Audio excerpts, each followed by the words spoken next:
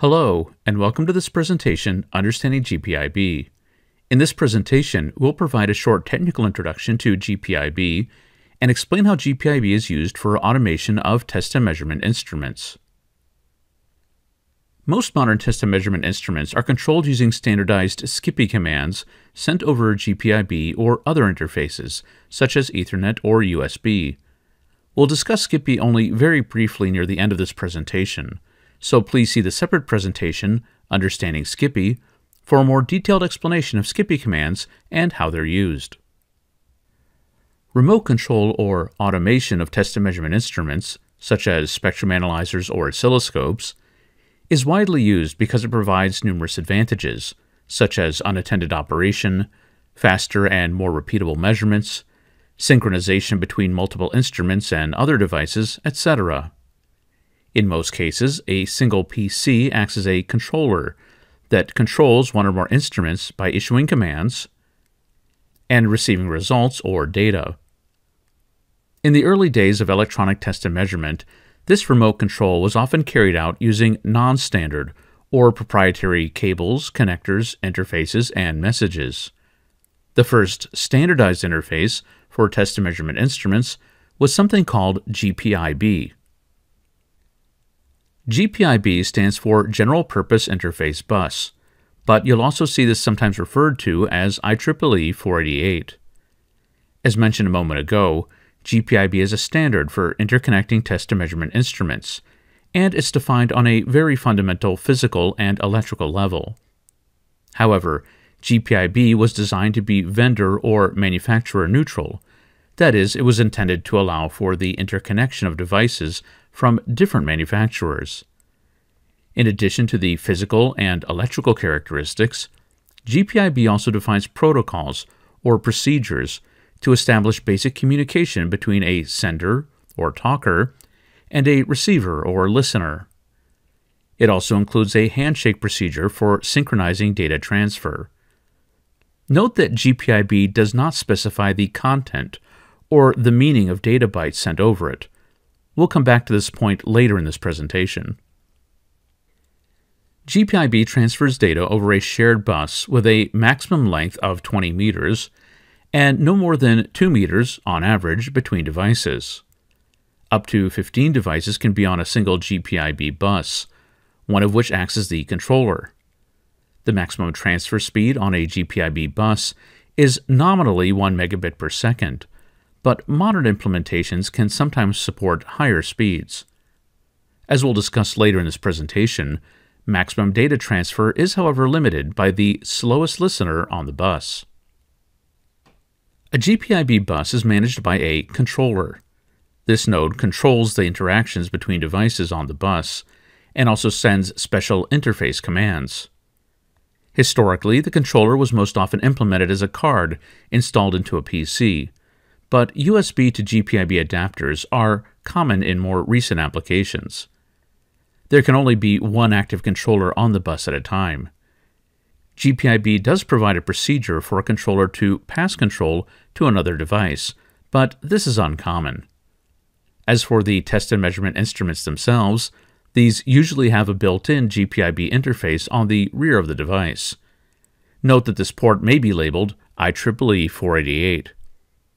Instruments on a GPIB bus can operate either as a listener that only receives commands, but in most cases they are talkers that can either send or receive data.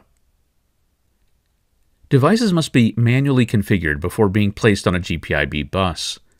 This configuration consists primarily of an address, which allows the controller or talker to communicate with or control a specific device and therefore each device on the bus must have a unique address.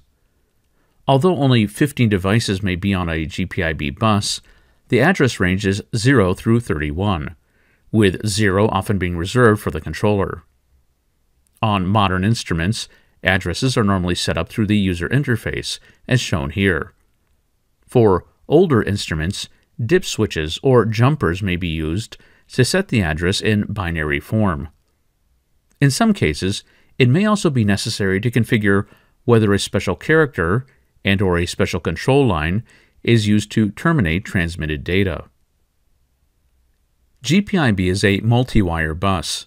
Specifically, the bus consists of 24 wires, 16 of which are active and 8 of which are ground. Note that some of these ground wires are paired with certain active wires. The active wires are divided into three separate groups based on their purpose or function. Bus management consists of five lines. The handshaking procedure uses three lines, and eight lines are used for data transfer. GPIB uses standard TTL voltage levels, but uses negative or inverted logic. That is, a low physical voltage corresponds to asserted, true, or a logical 1. GPIB connectors, therefore, also have 24 pins. Instruments or devices have female receptacles, and the cables used to connect devices must have male receptacles. In practice, many GPIB cables have connectors with both male and female receptacles on each end. This makes it easy to daisy chain or stack connectors. We'll look at this on the next slide. They also often have lock screws for stability. GPIB cables tend to be rather thick, inflexible, and heavy. This is partly due to the shielding used to prevent data corruption. And as mentioned on the last slide, numerous lines are implemented as single ground combinations in the form of twisted pairs, further adding to the cable's bulk. Using these types of cables, there are two general methods for connecting multiple devices to a GPIB bus. One is daisy chaining. Here, the cable originates at the controller, and each additional instrument is connected sequentially from the previous instrument. Another method is called stacking, or a star arrangement. In this method, the cables are stacked using the dual gender connectors on the end of standard GPIB cables. Note that it's possible to combine these topologies, that is, both daisy chaining and stacking, can be used together in the same GPIB bus. Next, let's take a look at some of the more important concepts in GPIB. These are bus management, local and remote operation, polling, handshaking, interface messages, and device-dependent messages. We'll only provide a general introduction to each of these concepts, so please see the GPIB specification if you'd like more detailed information on these or other topics. Let's start with bus management. Recall that five of the active lines are used for managing the GPIB bus. The ATN or attention line is used to address devices and is also used for indicating whether the data lines contain control information or data. REN selects local or remote device control, and SRQ is used by devices that wish to interrupt activity and request service. We'll cover both of these topics in more detail on the next slides. The EOI line is one of the ways of indicating the end of a multi-byte message, another topic we'll come back to in a few moments. And finally, interface clear can be used to reset the interface of every device on the bus, and thus return the bus to a known, stable state. When instruments are being controlled remotely, they normally enter a remote state in which the controller has exclusive access over the instrument. That is, local control of the instrument is not possible via the front panel or user interface.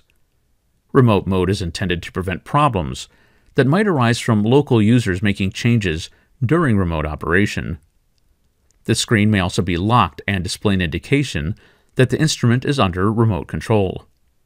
Asserting the REN line places an addressed instrument in remote mode, and the most common ways of exiting remote mode are either by unasserting REN or by pressing a special local button on the front of the instrument itself. Another important aspect of GPIB is polling. A device on a GPIB bus that wishes to inform the controller about events, error conditions, etc., can request service at any time by asserting the SRQ line. Like all GPIB lines, SRQ is a shared line, and therefore the controller has to use a procedure called polling to determine which device is generating this interrupt. In the vast majority of cases, devices are polled one after another using something called serial polling.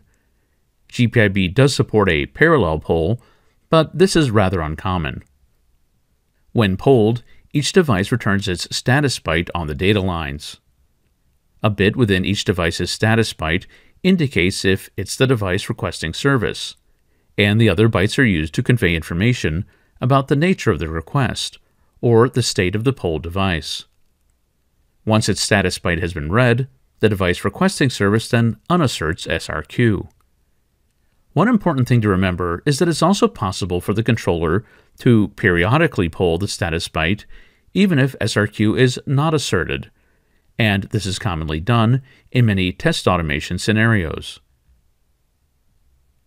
Handshaking is an important part of GPIB. It ensures a reliable transfer of messages and limits the data transfer speed to the speed supported by the slowest listener. This handshake is performed for every byte transferred over the GPIB bus. Three GPIB lines are used for handshaking. Data valid is pulled low, or asserted, by a talker to indicate that a new data byte has been placed on the data lines and is ready to be read. NRFD, or not ready for data, is set high or unasserted by listeners to show that they are ready to accept a new data byte. And NDAC, or not data accepted, is unasserted by each listener after it has read the data. Let's walk through this handshaking process graphically. The talker first places the data on the data lines and then verifies that NRFD is unasserted and NDAC is asserted. This combination means that all devices are ready to receive data. When this is true, the talker asserts DAV to indicate that new data is ready. All listeners assert NRFD to indicate that they are starting to read the data. As each listener completes reading the data, it unasserts NDAC.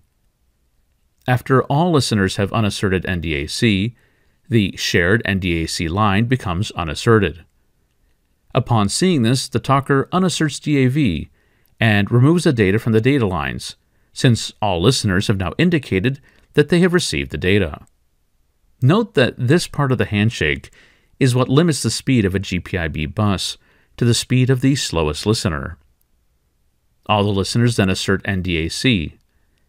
At this point, even though all the listeners have acknowledged receipt of the data, the GPIB protocol requires an explicit signal to show that each device is ready to receive the next data byte.